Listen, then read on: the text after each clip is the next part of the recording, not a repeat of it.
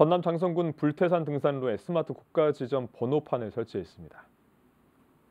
장성군에 따르면 스마트 국가 지점 번호판은 불태산 등산로 25곳에 설치됐고 국가 지점 번호와 함께 QR코드가 삽입돼서 응급 상황이 발생할 경우에 해당 위치에 대한 정보를 빠르게 확인할 수 있습니다.